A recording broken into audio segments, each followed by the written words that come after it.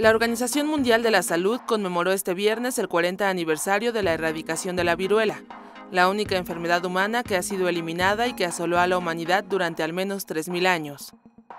El fin de la enfermedad ocurrió el 9 de diciembre de 1979, sin embargo, fue hasta mayo de 1980 cuando la Asamblea Mundial de la Salud declaró oficialmente que el mundo y todos sus habitantes se habían liberado de la viruela. Hasta su erradicación, la viruela azotó a la humanidad durante al menos 3.000 años, y solo en el siglo XX acabó con la vida de 300 millones de personas. El último brote endémico de viruela se declaró y contuvo rápidamente en Somalia en 1977.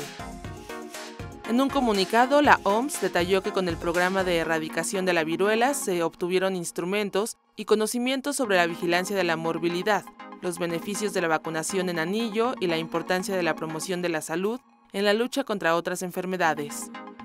Además, sirvió para establecer las bases de programas nacionales de inmunización que ayudaron a consolidar el establecimiento de la atención primaria de salud en muchos países y a trabajar por una cobertura sanitaria universal. Esta celebración marcó el inicio de una campaña de un año en que la OMS sensibilizará sobre la necesidad de seguir luchando contra la poliomielitis y otras enfermedades y de aumentar las inversiones en seguridad sanitaria mundial.